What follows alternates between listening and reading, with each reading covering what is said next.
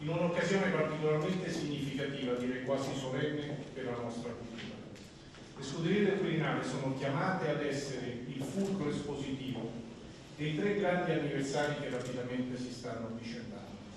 Leonardo, Raffaello, Davide. Raffaello si mostra con un amico che viene presentato allo spettatore e chi guarda il dipinto è coinvolto all'interno del dipinto dal gesto di questo personaggio, quindi è un ritratto a tre in realtà, non è un ritratto a due, come spesso si, si dice.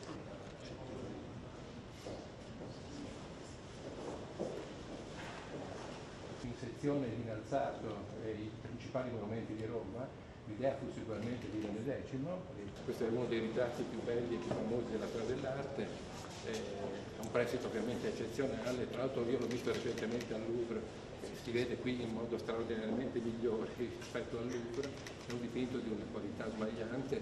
Lui era in questo momento ambasciatore di Luca Urbino alla corte pontificia. Questa invece è la sala dedicata ai capolavori che Raffaello dipinge negli anni di, di Leone X, eh, opere che vengono spedite un po' in tutta Italia, dalla Santa Cecilia che viene mandata a Bologna, ovviamente, che oppure la, la visitazione Brancogna che viene mandata all'Aquila, o il, la, la Madonna del Divino Amore che viene dipinta per... Anche questo bellissimo quadro di Uffizi, San Giovannino che è stato per lungo tempo dire, un po' declassato a, a, scuola, a bottega e che solo recentemente ci si è resi conto invece che, che è un'opera sicuramente ideata da Raffaello e in parte anche dipinta da Raffaello, anche se bisogna sempre tenere presente che in questi ultimi anni l'artista era talmente operato da un numero talmente stragrande di per forza. Era...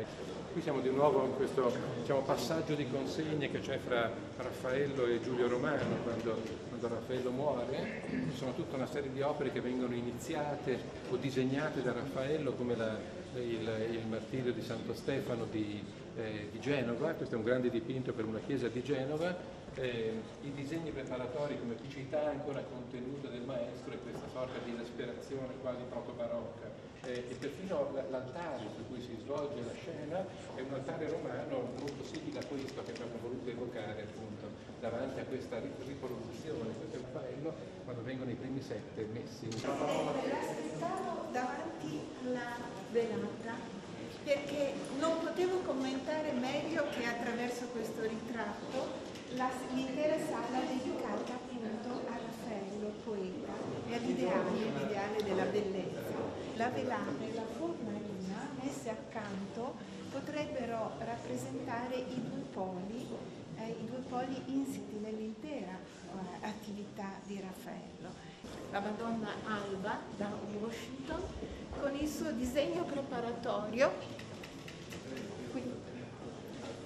dove la Madonna è naturalmente un giovane, un giovane in camicia perché il modello era ovviamente maschile, perché il miracolo del neonato a Padova, all'altare del Santo, ha questa guancia a guancia molto affettuosa tra madre e figlio, che è uno diciamo, dei motivi iconografici donatelliani ripresi da Raffaello durante il periodo eh, fiorentino. Forse preferisco quest'ultima lezione perché è più semplice rispetto all'interpretazione grandissima di Panofsky.